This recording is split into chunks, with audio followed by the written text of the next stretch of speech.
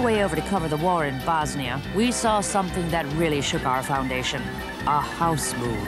Hi, West Chicago. You are? Tim Lykowski, Tim? Lykowski Construction Company. And what are you doing here today? Uh, we're moving a building.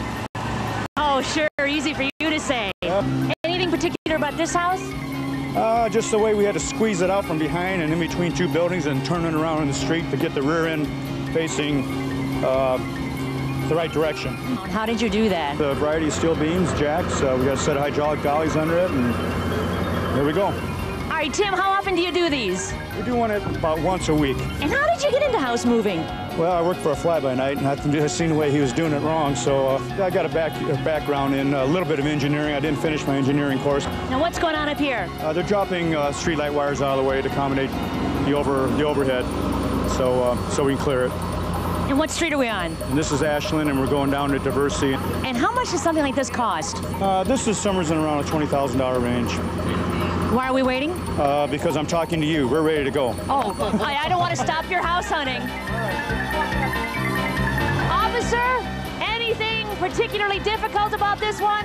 Not really. We're, we're uh, relatively smooth. I'm surprised it went so smooth. How many men does the city offer for this? Uh, we had to block off several intersections. We might have used 10 men altogether. We probably tied up about five for the whole time, which was maybe two hours. Well, not as good as you. You're comfortably ensconced. This is absolutely wild. Your name, sir? Don King. Don, you, you- you got a whole of chaise long here. I'm waiting for my new neighbors to move in. You're gonna play the stereo really loud? yeah, well, they're not going to complain right now. and donuts. And donuts. Oh. I always bring donuts. And you are.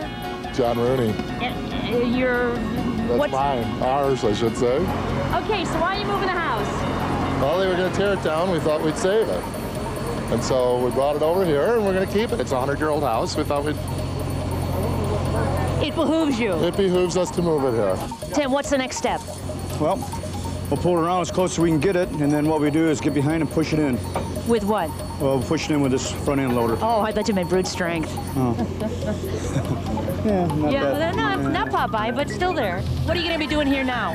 Actually, today we're just going to pull it in and get out of here for today. But then uh, Monday we'll jack it up and then get it ready for the foundation. How'd you get involved in this? Uh, actually, when I was a kid, I used to move garages. Have you ever seen anything like this?